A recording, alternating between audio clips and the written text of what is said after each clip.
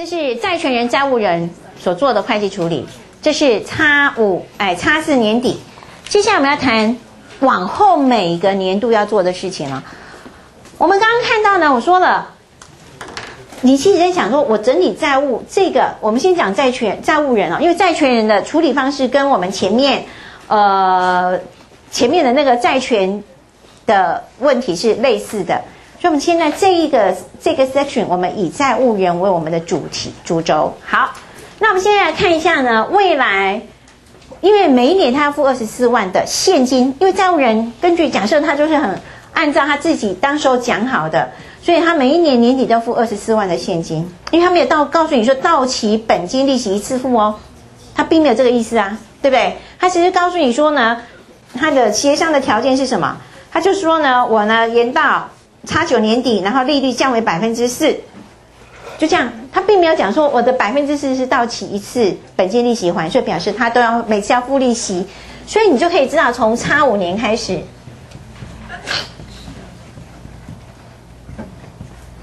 就跟我们的公司债的折溢价摊销很相似。好，我要付的现金二十四万。每一次都付二十四万，好，那我要承认的利息费用，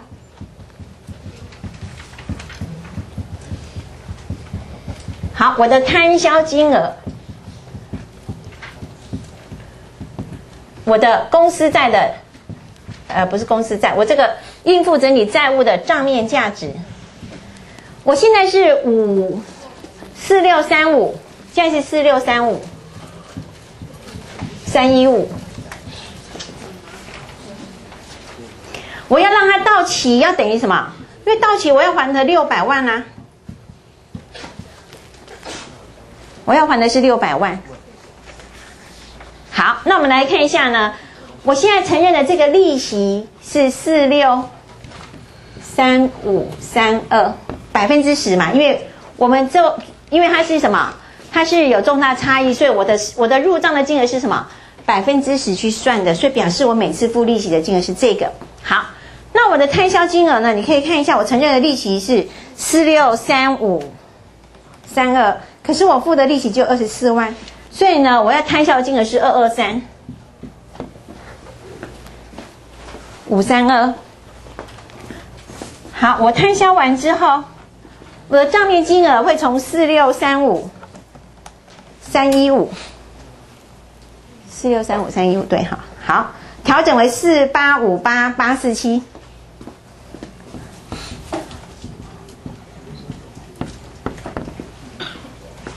好，以此类推，一直往下做。我做了，做到最后五年底，第五年底的时候，我的这个债的账面价值要等于它本金六百万。好，所以你可以往下算，好乘点一，所以是四六。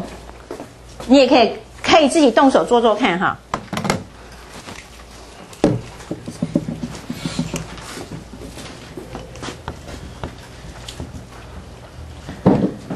让要让自己不会很想睡觉呢，其实就是啊，自己动笔做会比较比较不会有这个听听听听的想睡觉的问题。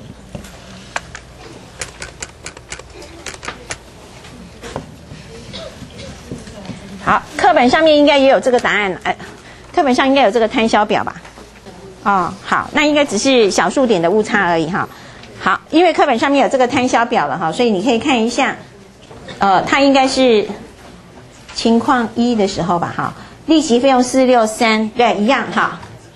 好，所以这是我的摊销表，这是情况一，他把利率也票据，哎，这个债务延长到差九年底，利率调整为百分之四。好，这是情况一啊，这个摊销表你就一直往下做好了，好，因为我们的时间也不很多，因为我要把至少要把这个讲完。好，这是第一种情况。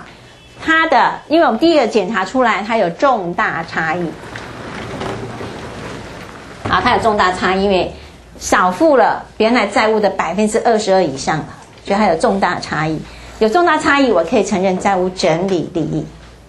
好，那债权人来讲呢，就比较呃一样嘛哈。我们承认的债权是五零四一七四八，然后呢，我们乘上百分之八，因为它的五零四一七四八是按照它的原始借款利率去算的，所以它可以，它因为一次就先承认它的债权整理损失了，哈，整整理债权损失了，所以接下来就可以承认利息，好，利利息收入，哈，所以你可以看一下，在我们的后面，它是不是收到二十四万的现金？它的利息收入呢？根据五零四一七四八，它的利息收入怎么算？五零四一七四八乘上百分之八。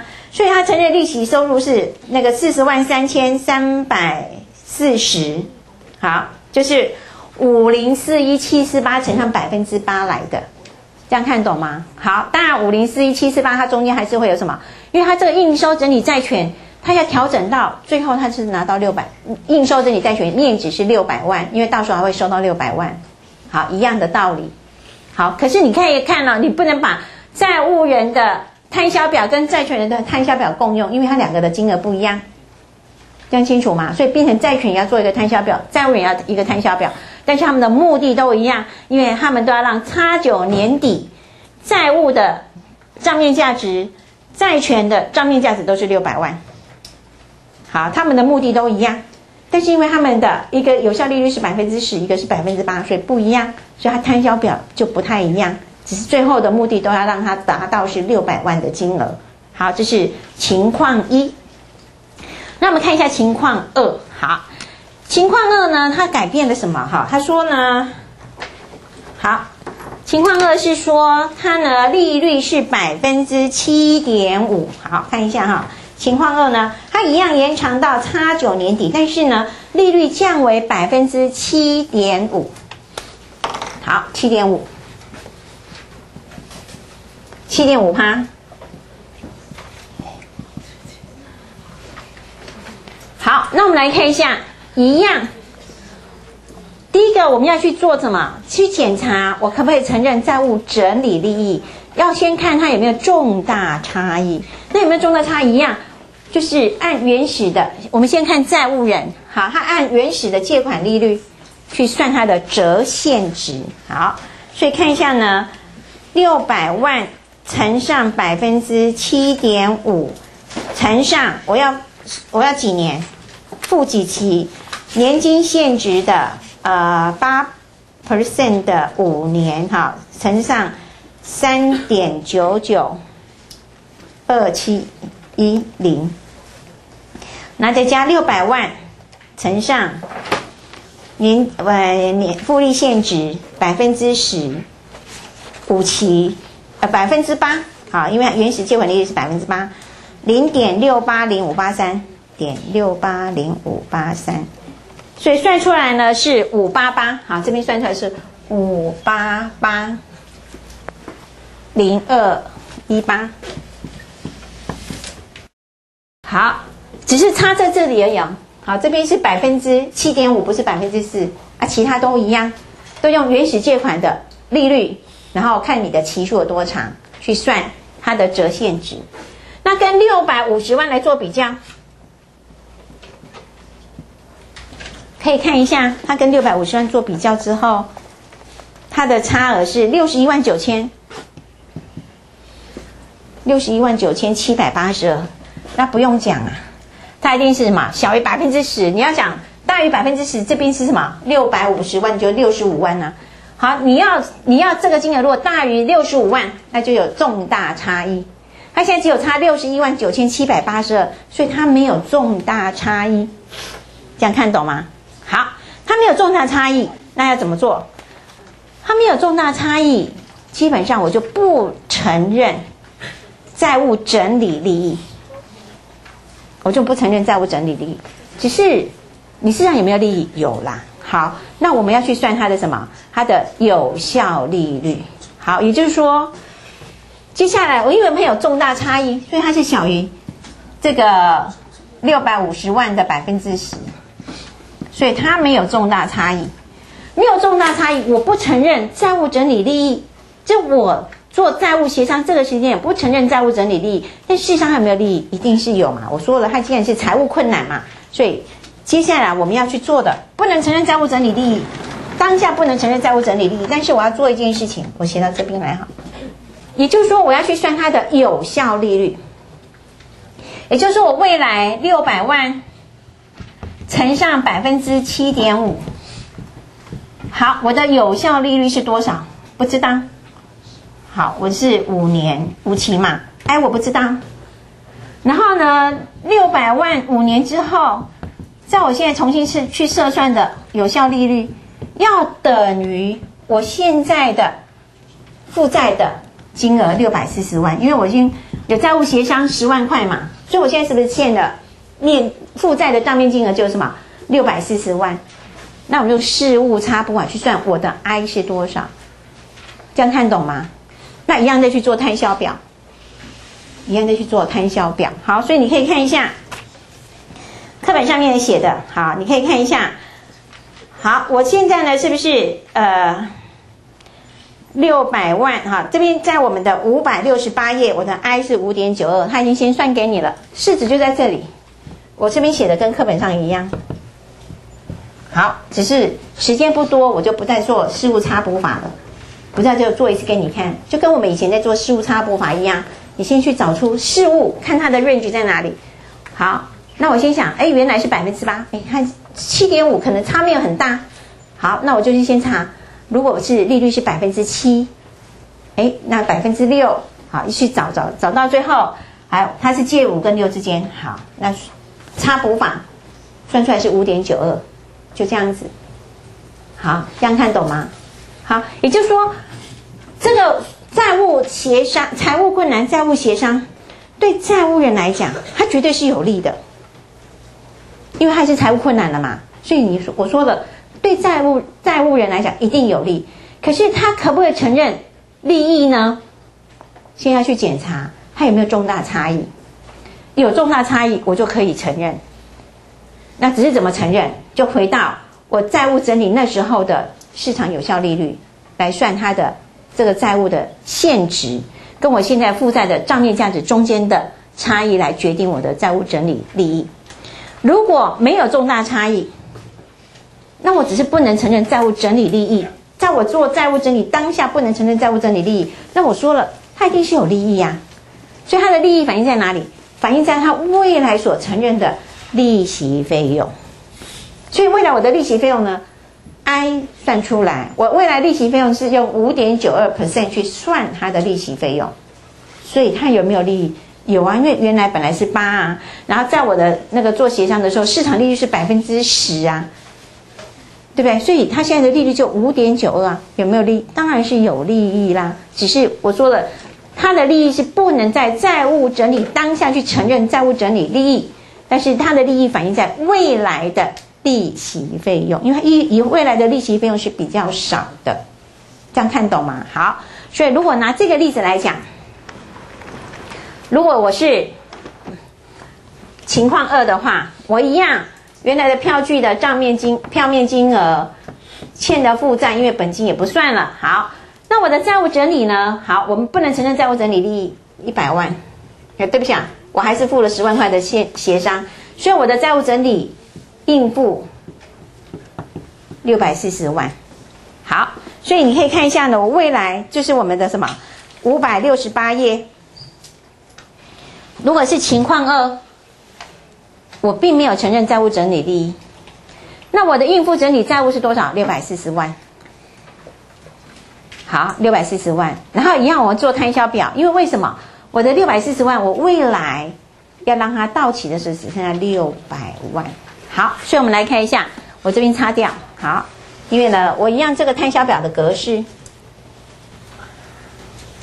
只是我现在的利息是五点九二，我每次付利息的金额四十五万，六百万的百分之七，一样，我的目的要到到期等于六百万，这边是一样的。好，所以我每我现在是六百四十万。我现在债务整理当时候，我的债务的账面金额是六百四十万，在这里。好，我这六百四十万去乘上点零五九二，所以我第一次承认的利息是三十七万八千八百八十三七八八八零，跟四十五万比较，要减少七一一二零。好，这个账面金额会因为我的摊销慢慢减少，因为我要让它的五年之后等于六百万，好，所以加六百四十万，所以是七六三二八八八零。好，以此类推，跟课本上应该有这样一个摊销表。好，这个摊销表就在这里，就五百六十八页，这样看懂吗？好，六五百哎六五百六十八页摊销表，一直做，五年之后你的这个负债要等于六百万。好，那对于债务债权人而言。我一样把未来会收到的现金去算它的现值，所以你可以看一下，我未来的在这里六百五十万，对于债务债权人来讲，我现在的债权是六百五十万，但是呢，根据我未来会收到的现金，一原始借款利率的去值算它的折现值，只值五百八十八万零两百一十八，所以对于债权人来讲，他当下就承认什么？债权整理损失，请你看一下五百六十八页的旁边。好，债权整理损失是不是六一九？好，七一八，跟我成应该有小数点的差而已啦。这样看懂吗？好，它未来一样，它现在应收整理应收整理债权是五八八零二一八。好，那未来呢？它一样要让它到期等于六百万，它的摊销表一样要做摊销，就在上面吧。哈，债权人这边摊销。它的五原来五八八零二一二一八，然后最后你要等到什么六百万？好，这样看懂吗？这是所以我说呢，如果你是，呃，修改债务条件，好，那可能会比较麻烦一点，因为你的债务整理的会计处理不是只有整理当时候，因为你是不是每次去做还一部分的债务的时候，或者是收到一部分的债权的时候？你的会计分录都要写，所以你要做什么？你要做摊销表，所以这个摊销表很重要。好，我们讲公司债的时候会用到摊销表。好，讲到债务整理的时候，也会用到摊销表。我们未来在讲租赁会计的时候，也会用到摊销表。好，所以他用到这个摊销表的机会非常的多，所以这个格式，其实你就要想。我做摊销表的目的是什么？也就是我让我的现在的账面价值到我的到期的时候要等于什么？那你就知道你摊销表的过程怎么写啊。所以我说这个摊销表非常的重要。好，这是我们课本上面的附录里面所讲的。那其实这个地方，哎，还很仁慈，没有告诉你，万一他有或有支付或有的条件。好，现在给你情况一的情情况一的时候来讲好了。我现在是不是延长五年四 percent，对不对？好，如果未来经过了两年之后，你公司的营运都有获利，我的利率从原来的百分之四调整为百分之原来它是什么？假设百分之八，票面利率百分之八，哎，这个会有支付，要怎么做？课本没有讲，好，那我就不要讲。好。但是会有这种交易形态发生哦。我现在可以给你第一点，好，我也因为债权人是希望你能够站起来，可是我有给你比较多的优惠，对债权人来讲损失损伤很大，所以我能够扶持你自己重新站起来的话，你是不是应该呃补偿一些我的损失？所以前面百分假设这个例子哈，未来我说，哎。从差四年底跟债债务人跟债权人协商，债权同意说，我未来是维持百分之二，其他条件都不变好了。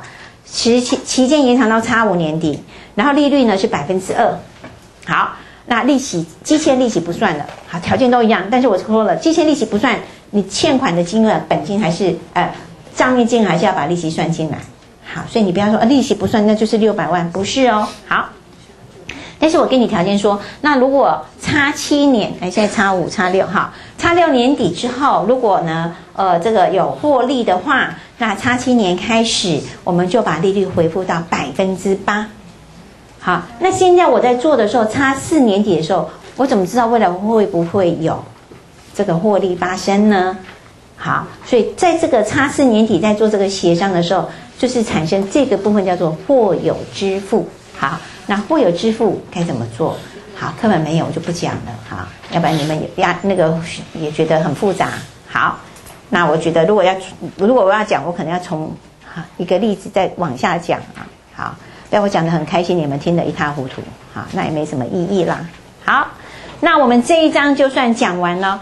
附录很重要，我要再强调一次，附录很重要。讲附录很重要，就是因为什么？我考试一定会考。好，分期付款，呃，对不起啊，分期还本公司债一定会考，因为这是初初判没有的东西。好，财务困难债务协商一定会考，债务人债权人他的会计处理怎么做一定会考。好，所以这章里面我至少。就一定有几个题型，一定会考了。分期还本，好，附录的部分